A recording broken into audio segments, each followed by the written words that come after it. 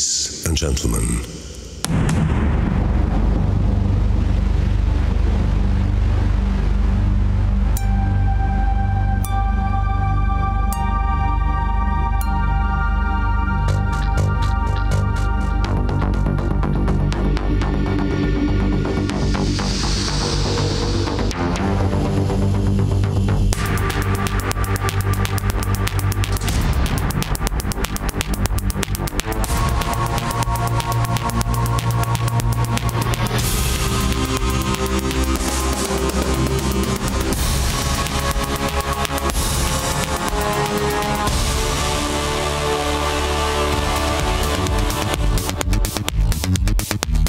Meine Damen und Herren, bitte begrüßen Sie den Leiter Konzernkommunikation der Volkswagen Group, Stefan Grösem. Guten Abend. Good evening. Guten Abend, äh, meine Damen und Herren. Ich darf. Sie ganz, ganz herzlich begrüßen I'm Namen von Volkswagen. Ja, man könnte sozusagen sagen, eine Art Geburtstagsfeier, die ins Haus steht. Und ich habe gerade schon, weil ich ja von dieser Seite den Raum betreten habe, die vielen äh, gespannten. Blicke gesehen. Aber zunächst und für die nächsten Minuten uh, äh, müssen Sie noch ein bisschen mit mir und meinen Kollegen Vorlieb and nehmen, bevor wir dann zum eigentlichen Stargast äh, des Abends kommen. Wie Sie schon bereits gemerkt haben, haben wir uns für die. Ankunft des neuen Golf 7 will have eine ganz besondere Location, wie man neudeutsch sagt, ausgesucht. Hier in Berlin die neue Nationalgalerie, Golf 7 ein in nicht nur ganz bekanntes Bauwerk, sondern auch ein sehr berühmtes Bauwerk also des äh, Architekten und Baumeisters Mies van der Rohe. Entstanden. 1968 was und äh, man sieht 1968. an der exakten, klaren Form, an den Linien hier, an der Transparenz, dass sich. Mies van der Rohe seinerzeit schon sehr viele Gedanken gemacht hat über das Design und äh, bis zum heutigen hard Tag about und hoffentlich noch sehr, sehr lange. Können wir alle uns gemeinsam daran erfreuen. Sie wissen selbst, dass hier auch die Werke vieler Künstler beheimatet sind. Äh, Pablo that Picasso, Salvatore Dali, uh, um nur zwei zu nennen. Also es ist schon ein ganz uh, besonderer. Ort, dass wir von Volkswagen natürlich zu schätzen wissen, dass wir heute hier diese Geburtstagsfeier, würde ich mal sagen, ausrichten dürfen. Das ganze Engagement hier gemeinsam mit der neuen Nationalgalerie und das freut uns wiederum besonders, äh, fußt auf einem Gesamtkonzept. Wir werden also Now, durchaus die Gelegenheit haben und da sind wir sehr, sehr dankbar für, äh, hier in den nächsten. Jahren noch weitere Veranstaltungen durchzuführen. Und das erfüllt uns mit Freude und passt auch wunderschön in die Linie, die wir mit der Marke Volkswagen vor einiger. Zeit begonnen haben. Viele von Ihnen wissen das, auch unter anderem die uh, Kooperation mit dem. Museum of Modern Art. All die Dinge passen dort sehr gut, wie wir finden, beieinander. Für uns also der ideale Ort des heutigen Abends, und ich sagte es eben schon, eine ordentliche, eine 7 klasse. Geburtstagsfeier, denn And nichts anderes ist es ja in gewisser Hinsicht, verdient natürlich auch wichtige, illustre Gäste und einige davon möchte ich Ihnen auch persönlich vorstellen. Allen voran sozusagen derjenige, der hier mehr oder weniger zu Hause ist, der regierende Bürgermeister von Berlin. Begrüßen Sie Klaus Wowereit. Guten Abend. Please welcome Klaus Wowereit.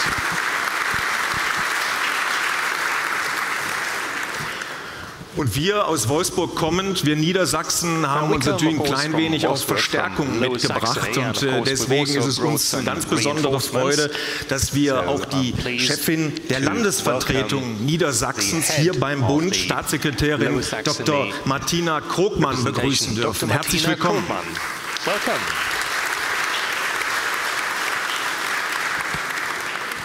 Und aus dem Bundeswirtschaftsministerium begrüßen wir den Staatssekretär Dr. Bernhard Heitzer recht herzlich.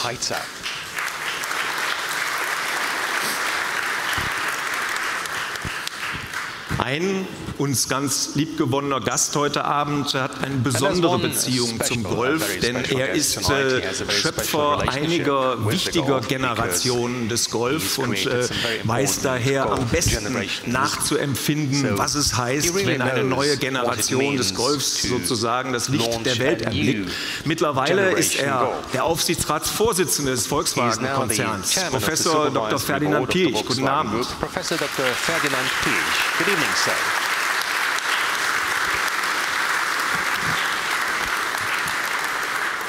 Ein ganz herzliches Willkommen auch Ihnen, Frau Dr. Piech. Welcome also to his wife, of course, Ms. Piech. Ein weiterer Gast hat eigentlich in den nächsten Tagen ein wenig mehr mit schweren LKWs zu tun, denn äh, die Nutzfahrzeug-IAA steht quasi in den Startlöchern. Aber äh, das äh, hindert ihn nicht, heute Abend bei uns zu sein. Es ist der Präsident des Deutschen Automobilverbandes VDA, Matthias Wissmann. Automotive Association, Matthias Wissmann. And he's coming here even though Und erlauben Sie mir, dass ich auch noch einen äh, liebenswerten Kollegen vorstelle, denn äh, ohne unsere Mitarbeiterinnen und Mitarbeiter, die an den Bändern viele Generationen des erfolgreichen Golf äh, gearbeitet haben und auch weiterhin tatkräftig arbeiten werden, haben sozusagen ihren höchsten Vertreter entsendet, unseren Gesamtbetriebsratsvorsitzenden Bernd Osterloh. Herzlich willkommen. Bernd Osterloh. Welcome. Ich könnte mich jetzt noch einige Minuten äh, weiter damit beschäftigen. Äh, ich darf das aber abkürzen, weil wir noch viele, viele weitere Gäste hier haben, die Sie auch alle kennen aus Gesellschaft, Politik und aus dem Sport. Äh, Ihnen allen erneut ein herzliches uh, Willkommen. sports Denn der Golf, und das ist ganz wichtig, war immer schon viel mehr als nur ein Auto. Er hat nicht nur die. Generation Golf geprägt, über die sogar Bücher geschrieben wurden, sondern fast jeder von uns kann ja seine persönliche Golfgeschichte erzählen und sogar die Bundeskanzlerin könnte da ja auch ihre hinzufügen. Und der. Golf hat, was kaum ein anderes Auto geschafft hat, er hat gesellschaftspolitische Dimensionen erreicht.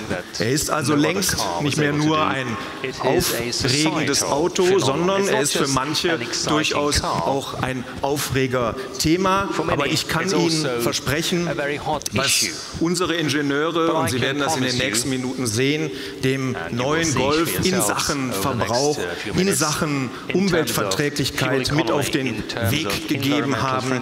Da kann eigentlich nur jeder vor Neid erblassen. Nun will ich Sie aber auch nicht länger auf die Folter spannen, denn jetzt wird es Zeit, einen, den ersten der Väter des neuen Golf vorzustellen. Es ist kein geringerer als der Vorstandsvorsitzende des. Volkswagen-Konzerns, Professor CEO Dr. Martin Winterkorn. Bitte schön. Professor Martin Winterkorn.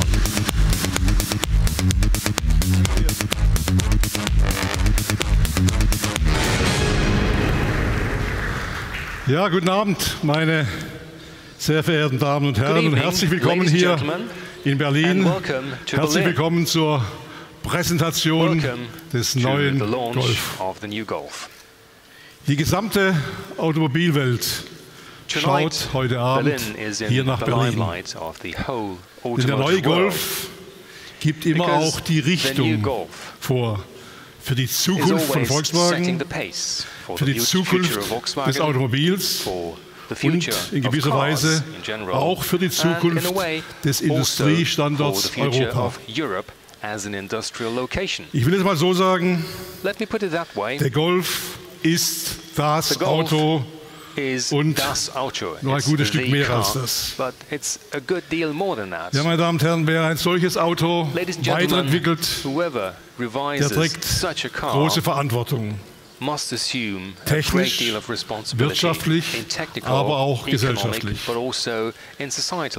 also. Die Menschen erwarten viel von uns. Allen voran Unsere Kunden, aber auch unsere Mitarbeiter. Natürlich steht der Volkswagen-Konzern heute auf vielen Standbeinen. Und natürlich bieten wir die gesamte Bandbreite an mit über 240 Modellen, vom Kleinstwagen bis zur Oberklasse. Aber das mit Abstand wichtigste Fahrzeug ist und bleibt der Golf. Als Botschafter von Volkswagen auf der ganzen Welt, als starker Motor für Absatz, Rendite und auch sichere Arbeitsplätze und natürlich als technologische Speerspitze. Für die neue die siebte Generation konnte es daher nur eine Stoßrichtung geben. Sie muss das Beste von Volkswagen verkörpern. Höchste Qualität und Präzision, der Mut und das Können, ganz neue Wege zu gehen, etwa mit unserem modularen Baukastensystem und vor allem Substanz bis ins kleinste Detail. Genau diese Substanz, genau dieses zeitlose, diese zeitlose Klasse suchen heute Menschen mehr denn je. Volkswagen erfüllt diesen Wunsch. Auch und gerade mit dem neuen Golf. Also, Meine Damen und Herren, der Golf ist ein globales Phänomen und ein Schrittmacher für die gesamte Branche. Es gibt wenige Autos, die wie er eine neue eigene Fahrzeugklasse begründet haben. Es gibt wenige Autos, die so erfolgreich sind, mit bisher mehr als 29 Millionen verkauften Einheiten. Und es gibt wenige Autos, die so viel Strahlkraft haben wie der neue Golf. Was der Golf vormacht, dem eifern andere nach. Und was der Golf leistet, setzt für andere zum Maßstab. Dieses Auto hat von Generation zu Generation den technologischen Fortschritt als Innovationsmotor vorangetrieben. Eines war uns deshalb eine echte Herzenssache, dass der Neue ein klares, unübersehbares Zeichen für umweltfreundliche Mobilität setzt. Und deshalb, ich sage es ganz bewusst, deshalb haben wir um jedes Gramm gekämpft und bis zu 100 Kilogramm an Gewicht eingespart. Deshalb haben wir neue, hocheffiziente Motoren entwickelt und den Verbrauch auf bis zu 3,2 Liter gesenkt. Und deshalb werden wir im Golf das gesamte Spektrum alternative also Antriebe auf die Straße bringen. Vom Erdgas über den Elektroantrieb bis zum Plug-in-Hybriden. Kurz gesagt, der neue Golf ist nicht nur das Auto, er ist für uns das Umweltauto. Und damit, ganz nebenbei bemerkt, die richtige Antwort auf die steigenden Benzinpreise. Meine Damen und Herren, wer über das Lieblingsauto der Europäer spricht, der kann Sorry, und darf in diesen Tagen zu Europa nicht schweigen. Kaum ein Unternehmen lebt die europäische Idee so überzeugend wie Volkswagen. Unter unserem Dach arbeiten zwölf Marken aus sieben europäischen Staaten erfolgreich und ich sage ganz bewusst auch partnerschaftlich zusammen. Ich sage deshalb ganz klar, also wir bei Volkswagen glauben an Europa.